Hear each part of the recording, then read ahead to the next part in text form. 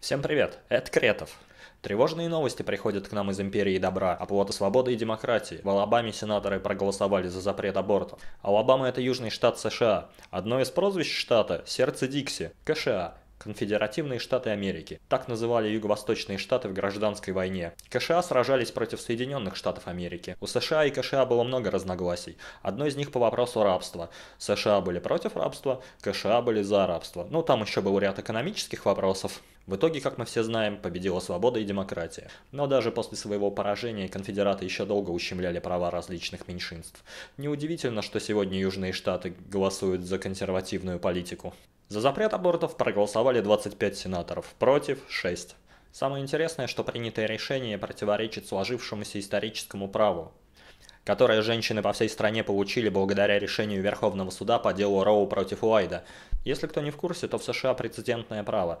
Это когда решение суда по какому-то вопросу является историческим, и в дальнейшем судебные разбирательства опираются на этот прецедент и выносят схожие приговоры. Дело Роу против Уайда как раз такой исторический прецедент. В сентябре 1969 года Норма МакКорви заявила об изнасиловании в штате Техас. Она была беременна, а в штате Техас по закону можно было делать аборт только если ты изнасилован. Женщина обратилась в полицию, но доказать так ничего и не смогла. Тогда она попыталась сделать аборт незаконно, но врача, который проводил операцию, арестовала полиция. Тогда в дело женщины вмешались адвокаты. Линда Кофи и Сара Ведингтон. Они подали иск в суд, заявив, что делают это ради всех женщин. Дело этой женщины они выиграли, но сам закон суд отказался отменять. Тогда дело дошло до Верховного суда, который отменил закон. Хотя Верховный суд мог рассматривать только спорные дела, а поскольку женщина к тому моменту уже родила, то и спора никакого не было. Тем не менее было сделано исключение, и был создан прецедент. Современный же закон противоречит этому прецеденту. По идее, новый закон должен вступить в силу через 6 месяцев после подписания, но южанам будет не так-то просто его внедрить. Его уже готовы оспаривать общество по защите прав, свободы и демократии. Это, кстати, не первый случай, когда консерваторы пытаются запретить женщинам распоряжаться своим телом. Около 16 штатов США уже как тем или иным образом пытались либо ограничить, либо полностью запретить аборты.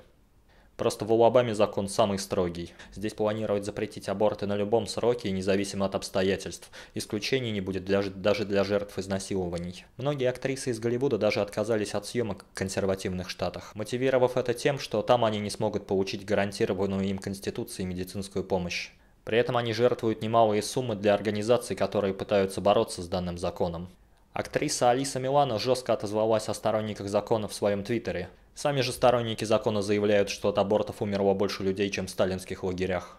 По новому закону, врач, делающий аборт, может получить до 99 лет тюрьмы.